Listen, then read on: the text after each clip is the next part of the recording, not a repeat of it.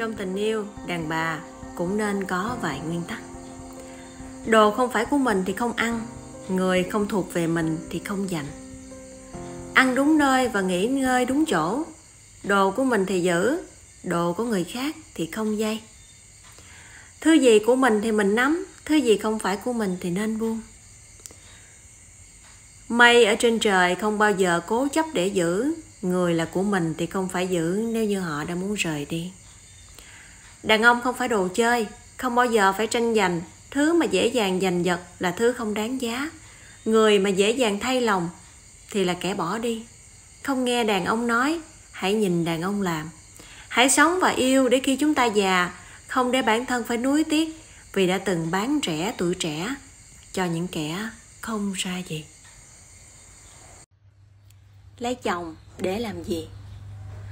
Phụ nữ kết hôn lại mỗi đứa con còn gần như mất đi mọi thứ. Ba mẹ đẻ, thanh xuân, nhan sắc, sự tự do và quyền bình đẳng. Tôi cũng kiếm tiền như chồng, lại phải thêm công việc nhà cửa, lại phải bầu bí sinh đẻ nuôi dạy con cái. Sau sinh, sức khỏe lẫn sự trẻ trung mất đi. Gặp người chồng hiểu chuyện thì cho vợ tân trang ăn diện. Gặp thằng khốn nạn, nó chê, nó chán, nó đi cặp bộ. Nếu như một ngày nào đấy, soi tấm gương quá khứ, bạn có bao giờ giật mình vì sự thay đổi của mình ngày hôm nay? Có những người nói với tôi, muốn biết phụ nữ đã từng tổn thương nhiều ra sao? Cứ nhìn vào sự đổi thay của họ hàng ngày. Là rõ nhất, đàn bà không tự sinh ra là mạnh mẽ, tất cả do gom đủ tổn thương mà hóa thành. Hóa ra tình yêu lâu ngày trôi đi, rồi cũng đổi khác con người theo thời gian cũng sẽ dần biến dạng. Theo chiều hướng tốt hoặc xấu, chỉ là đôi lúc ai rồi cũng sẽ có một câu hỏi, liệu quay lại với người từng thương là đúng hay sai? Yêu lại thì dễ, nhưng để trọn vẹn như ngày cũ thì là điều không thể nào, phải không? Khi mà hình nền điện thoại anh ấy là ảnh của bạn. Khi anh ấy có thể thoải mái giao điện thoại cho bạn và khi anh ấy giới thiệu bạn với tất cả bạn bè của anh ấy, đặc biệt là khi anh ấy nắm chặt tay bạn, không buông trước mặt một cô gái có tình cảm với anh ấy. Mỗi khi đi đâu, làm gì, anh ấy cũng đều nói cho bạn biết. Khi tất cả người quen của anh ấy đều biết bạn là một nửa của anh ấy, khi thấy bộ dạng xấu xí nhất của bạn, anh ấy vẫn không hề chê bạn. Khi anh ấy vì bạn mà cúi đầu nhận lỗi khi anh ấy luôn nhường nhịn sự trẻ con và ương bướng trong con người của bạn. Khi bạn buồn bã, anh ấy luôn ở bên và mua thật nhiều đồ ăn ngon cho bạn. Khi anh ấy có thể vì bạn mà vứt bỏ tất cả, là khi đó bạn đang nằm mơ đó.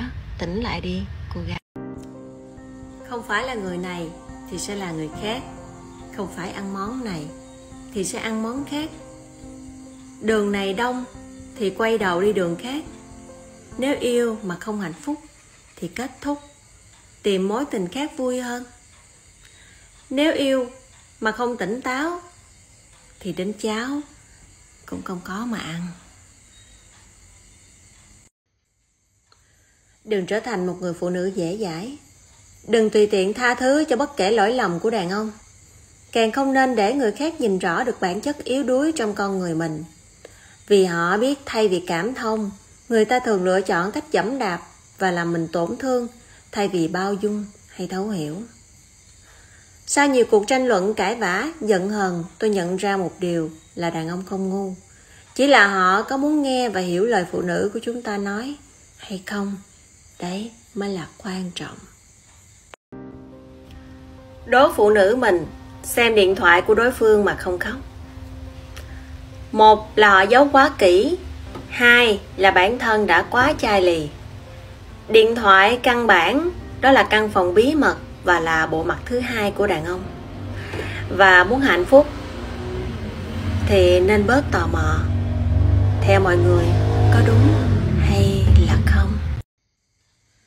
Bạn có biết thế nào là khi phụ nữ học được cách yêu bản thân mình, hiểu được giá trị của chính mình, thì họ sẽ làm gì hay không? Họ không cần đến đàn ông nữa. Càng trưởng thành, chúng ta lại càng hiểu ra là cảm giác an toàn nhất không ai có thể đem lại được ngoài chính bản thân của mình. Lâu dần, tôi thấy rằng phụ nữ trên đời này càng trở nên kiên cường đến mức phi thường. Họ không còn lệ thuộc vào đàn ông và có thể tự mình làm hết những việc đàn ông làm. Yêu nhưng không ngu. Uống nhưng không say. Và nghe thì cũng chẳng vội tin như ngày còn non trẻ.